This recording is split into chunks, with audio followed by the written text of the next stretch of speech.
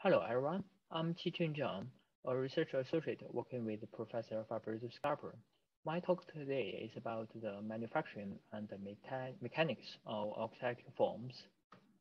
Auxetic material is a kind of material with negative Poisson ratio caused by the reentrant structure or the rotational structure uh, inside the material.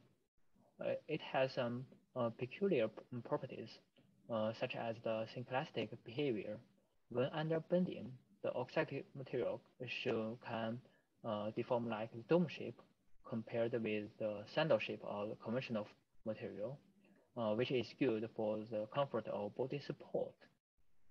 And also, auxetic material uh, have better indentation resi resistance, also the resistance to high shear deformation, improved fracture resistance, uh, variable permeability, and high energy absorption cap capacity.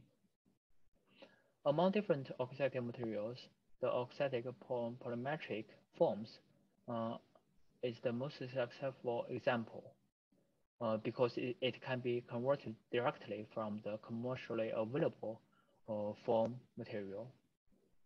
In the first research, uh, we developed the high stiffness auxetic foam using the vacuum bag, uh, autoclave, in uh, high temperature and uh, high pressure. it can be found that the inner structure of the auxetic foam is much denser than the pristine one, and also the auxetic foam shows very strong transverse isotropic property. Um, the reentrant structure of the curved rib uh, introduced the auxeticity, and we measured the uh, Poisson ratio and the modulus of this auxetic foam and found uh, the modulus of this form is much higher uh, than the conventionally made um, auxetic foams. However, it's too complicated to use autoclave to make auxetic foams. Uh, so in the next research, we simplified the method to use this kind of uniaxially compression thermoforming method to make auxetic foams. Uh, this method is very easily uh, to scale up to make very big auxetic uh, foam blocks.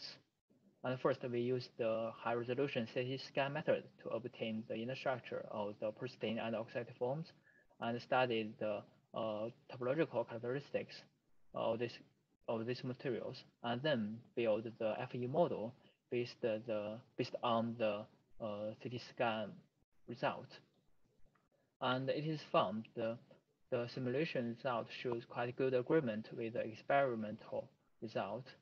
Uh, the, both the pristine and the conventional uh, form uh, shows higher modulus under tension uh, than under compression. And then we studied the dynamic properties of the auxetic foam. Firstly, uh, with small strain and high frequency, we built this uh, transmissibility test rig to measure the uh, auxetic foams with different parameters to obtain their, their transfer function. Uh, from the transfer function, we can calculate the dynamic modulus and the loss factor of the auxetic foams with different uh, parameters. We also build a, a poroelastic, poroelastic model to uh, study the dynamic performance of this kind of porous material. And then uh, we build the uh, three-point bending rig to study the uh, dynamic property of auxetic foams with large amplitude and low frequency, which is uh, similar to the application of body support. And from the test result, we found the auxetic foam, especially the one with 80% uh, thermoforming compression ratio, shows the best damping uh, performance. And finally, uh, we build this small drop tower rig to measure uh, the impact performance of the auxetic foam of this kind of soft porous material.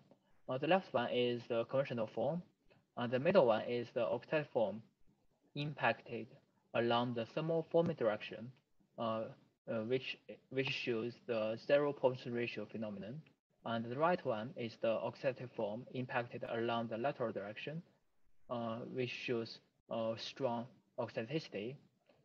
And from the force curve, uh, it is found that uh, the auxetic foam, especially when impacted along the lateral direction, uh, shows uh, the most significant reduction uh, on force, which is uh, good for impact pro protection.